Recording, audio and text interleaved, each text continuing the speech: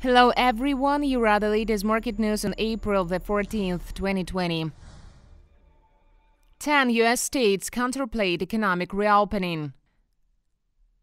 10 U.S. governors from the East and West states banded in two regional pacts to coordinate gradual economic reopenings as the coronavirus crisis finally appeared to be picked. Announcements from the New York led group of Northeastern governors and similar compact formed by California, Oregon, and Washington state came as President Donald Trump declared any decision on restoring the U.S. economy was up to him. New York Governor Andrew Cuomo said he was teaming up with five counterparts in adjacent New Jersey Connecticut, Delaware, Pennsylvania, and Rhode Island to devise the best strategies for easing stay at home orders imposed last month to limit coronavirus spread. The 10 governors gave no timeline for ending social lockdowns but stressed that decisions about when and how to reopen non essential business along with schools and universities would put the health of residents first and rely on science rather than politics. Shares rise amid strong data from China. The slump in China's exports and imports eased in March as factories resumed production, but economists forecasted a drop in shipments over coming month as the coronavirus crisis shuts down many economies and puts the brakes on a near-term recovery. Financial markets get some support after customs data on Tuesday show that exports fell 6.6% in March year-on-year, improving from a 17.2% slide in January-February as exporters rushed to clear a backlog of orders after forced production shutdowns. Imports is the modest 0.9% compared with expectations for a 9.5% drop.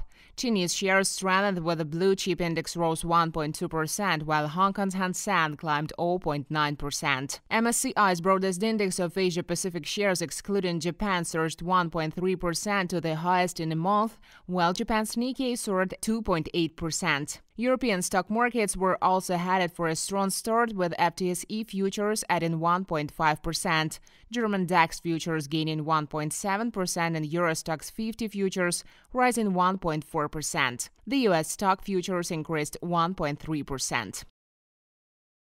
Renault pulls out from venture with Dongfeng.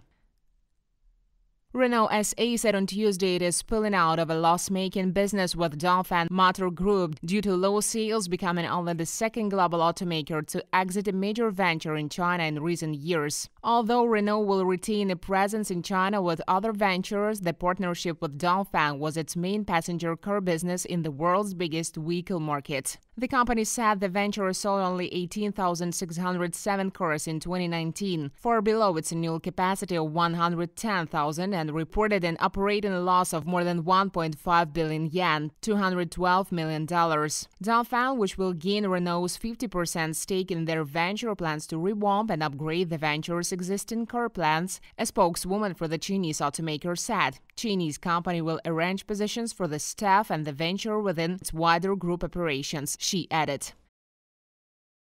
Gold is on seven years peak amid global recession. Gold continued its rise to hit the highest level in more than seven years on concern that the coronavirus pandemic will have a devastating effect on the global economies, supercharging demand for safe havens. Bullion has soared as the outbreak tipped economies into recession and spurred central banks to launch huge stimulus. Since getting caught up in a wave of forced selling last month as equities sank, gold has staged a powerful recovery. Now the gold futures are closing $1,800 and once after trading in the $1,400 less than four weeks ago.